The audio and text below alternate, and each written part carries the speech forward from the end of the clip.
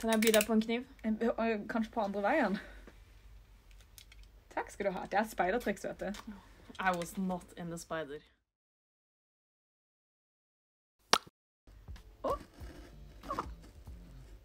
Er dette uh. ASMR? Eh, ikke denne gangen. Skuff. Har du din egen kniv? Uh. Super. OK. Så når vi får disse, så ser de Å! Ta-da! Så ser de sånn ut. Jeg pleier bare å ta de opp ned og så liksom brette de utover disken når jeg pakker de ut. Mm. Men you know, vi skal være litt fine her, så vi tar de én og én. Og det er sånn mystery boxes. Ja, det er mystery boxes. Men altså, når du kjøper Egentlig så kjøpes jo disse som et sett. Du kjøper de egentlig ikke som én og én. Okay. ok. Eh, det er bare bedrifter som selger de én og én av og til. Så her har vi all the pretty ones. Uh, altså Forsiden på disse eskene er jo den samme, uh, regardless av figur, og de ser helt like ut. Og det er meningen er jo at det skal være mystery. Ja.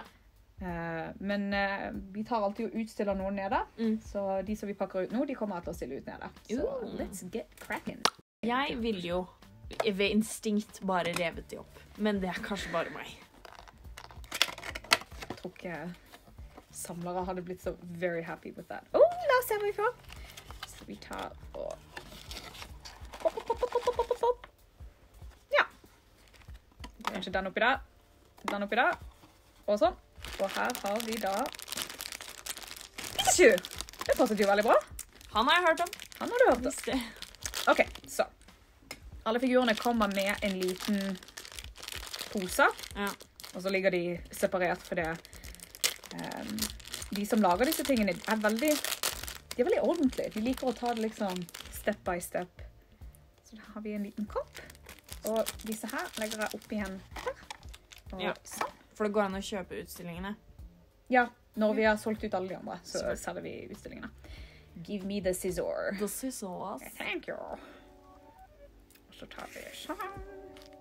Hvordan skal jeg klippe dette pent? Må bare passe på å ikke klippe i alle tingene. Sånn. Sånn. Yes. Denne her er jo bare søppel nå, Ja. så den kaster vi. Throw her away. Så faktisk tar vi bare og slenger ut hele Pikachu. Oh, it's so cute though. Jeg elsker sånne små ting. De er så søte. Yes. Jeg vet ikke om du syns det samme, men I freaking love it.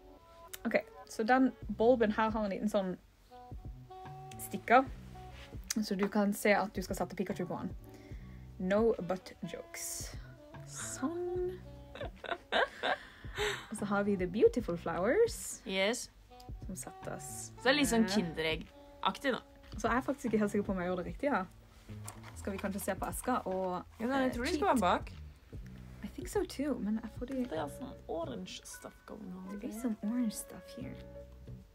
Yeah. No.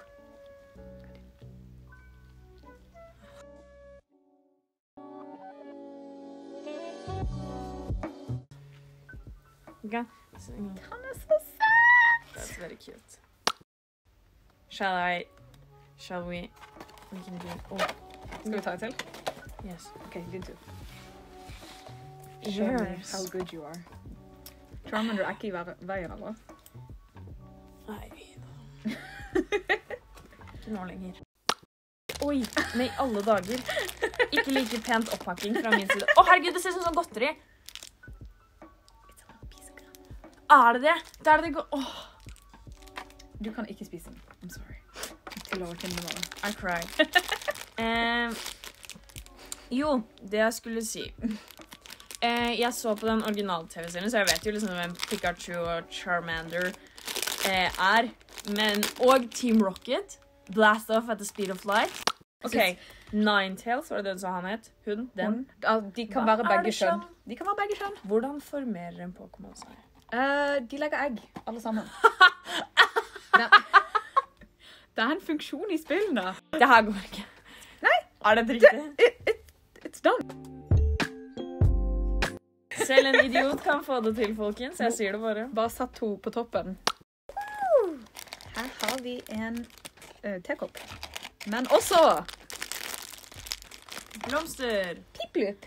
Piplup. Piplup. Den var before my time. Um, eller after, my time. After your time, before your time. Begge deler. Har null kjennskap til den. Jeg er veldig glad i Piplup. Det er en av favorittene mine. Men er ikke Ninetales brun? Nei. Nei. Ninetales har alltid vært sånn gul, rød, oransje, uh, yellow. Vel, jeg husker i hvert fall en som så ut som en hund, eller noe sånt, og var brun. Den var dritsøt. Jeg vet ikke med deg, men jeg er veldig glad i å sette sammen sånne småting. Du er kanskje Nei? Jeg blir så utålmodig. Jeg blir sånn Kan jeg bare bli ferdig? eller?» Jeg har så lyst en dag så må vi ta og filme det mens du setter sammen sånne DIY-kits. Sånne matkits. Du kommer til å dø. Jeg husker han Brock fra den, Er det Brock han heter? Han som ble forelsket i alle de der sykesøstrene fra originalserien? Jeg tror han ble forelska i alle damene. Alle damene, ikke hun Misty. Men det er fordi hun har en kid. Hvor gamle er de? Er de ikke sånn 16? Misty er 10. Æsj er ti, og Brock tror jeg ah, var Æsj ti? Jeg var så forelsket i Æsj. Jeg var sånn, oh my god, he's going out on an adventure. How exciting and fun. Og så hadde han sort hår. Tall, dark and handsome. Tall.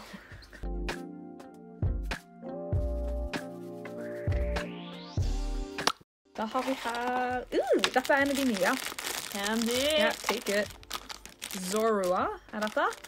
Jeg er ikke sånn superkjent med han, men jeg tror det er en dark type. Jeg vet ikke om du husker er det en tegnefilm? Eller er det Altså, det er en te- Nå Det er en uh, cartoon.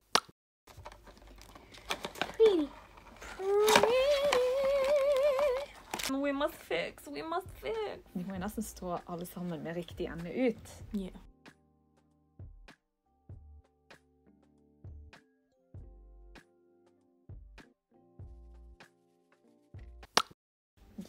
OK, skal vi sette de sammen? Er ikke det litt hyggelig? Vi kan ta de sammen for en long shot. Yes.